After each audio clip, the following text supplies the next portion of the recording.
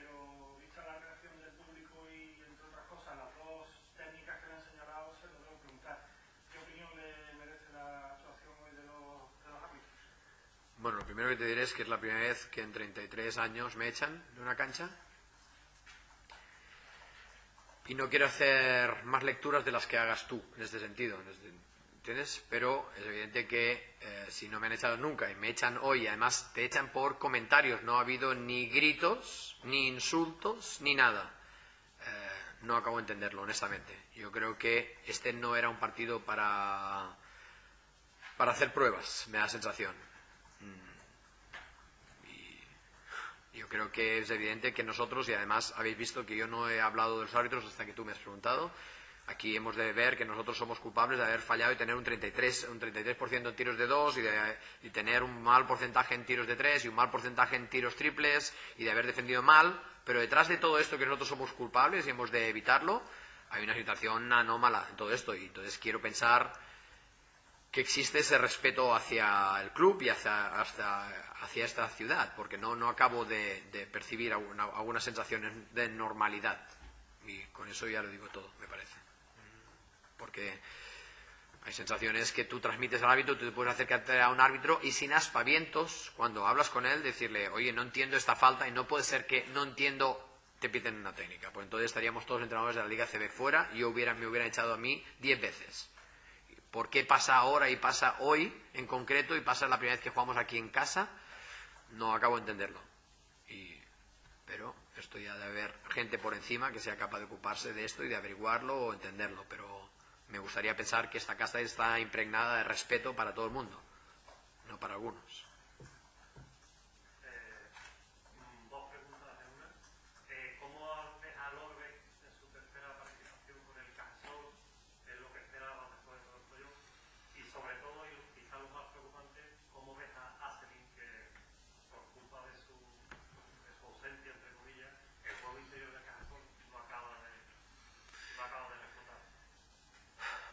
Yo creo que Dom, Domen Lobrek es una persona que apenas lleva aquí 15 días y es evidente que esperamos que vaya más eh, y que sea capaz de tomar decisiones, sus tiros algo más rápidos, eh, que nos reconozca nuestros tics en defensa, que aún algunos de ellos se los has de recordar mientras está jugando, pero yo creo que es también el de los menos culpables. Eh, creo que es un jugador que tiene un caché determinado y que puede hacer un trabajo determinado en el equipo, pero no hemos de esperar de él que haga algo que no ha hecho nunca en su vida. Y en cuanto a Josh, pues no puedo ocultar que, andamos preocupados, y andamos preocupados porque es evidente que nosotros ya os dije que cuando confeccionamos la plantilla, la parte que se pudo confeccionar, otra ya estaba hecha, claramente, pues se hizo encaje de bolillos y se pensó en él como una persona clara que nos diera la consistencia que el juego interior con dos jugadores como Juanjo y Xavi y con un Dusko que es más perimetral que interior nos pudiera compensar. Eh, vamos por el tercer partido y esto es una verdad con tiempo que no está siendo así. Yo he hablado con él ya, él es consciente de, de que no está jugando al nivel que se espera de él y bueno, pues lo único que le queda a él es primero trabajar, ahuyentar sensaciones que él puedan distorsionarle en su vida profesional, personal o no sé qué, ¿no? Es, evidente, y eso se lo dije a él, que él ha sufrido una situación ah, extraña en su carrera estando aquí. Y es que cuando apuestan por ti en otro equipo, ya apuesta un entrenador eh, en ti por el americano y no por otro jugador. ¿Qué diferencia hay respecto a los equipos donde él ha jugado? Es que él aquí está conociendo a quien estamos cortando, a quien estamos separando el equipo. He convivido con él durante un mes y medio y ahora ese jugador está en el banquillo y yo de jugar porque han apostado por mí y entonces esa sobrepresión que él pueda tener, eh, digo ahora un poco aleatoriamente, ¿eh? ah, mezclados con situaciones que él le cueste de asumir, se esté dando que él esté dando un rendimiento bastante pobre sobre lo que esperamos de él.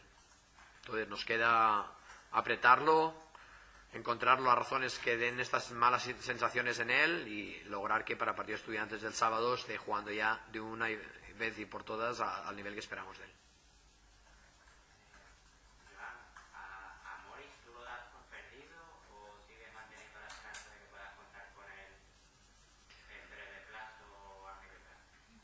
Bueno, no sé, vosotros habéis de saber cómo está la situación legalmente, ¿no? De unos y otros si sabéis cómo funciona la justicia, pues determinar vosotros lo que creéis. Yo creo que lo que vosotros penséis y lo que yo pienso, estamos bastante de acuerdo. Con eso yo creo que lo he dicho todo. ¿Entiendes? No, me gustaría mucho porque además, en principio el equipo se montó para tener una estructura determinada. Ya os dije, además lo dije antes de empezar la competición, que esta situación era un, era un golpe eh, directo a nuestra línea de flotación. Un golpe brutal para muestra, pues hemos de ver nuestros dos partidos contra Granada y contra Unicaja y ver cómo estamos jugando posteriormente. Que seguro, insisto, que un jugador es necesario, pero nunca es tan fundamental como para que pierdas o, ganes con él. Pero eh, es una verdad como un templo que teníamos una estabilidad que hemos perdido y que hemos de reencontrar. Si tenemos fe en que eso se agilice o si eso sea posible, pues bueno, pues determinarlo vosotros. Yo tengo mi opinión. Venga, buenas tardes.